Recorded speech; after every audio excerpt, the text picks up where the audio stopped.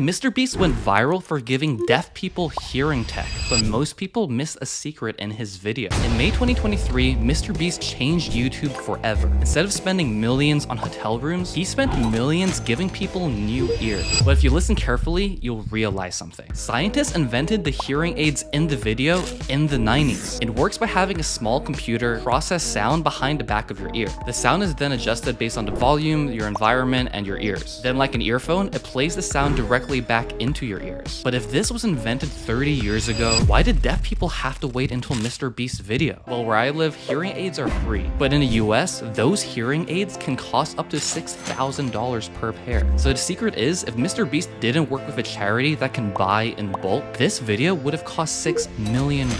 That's why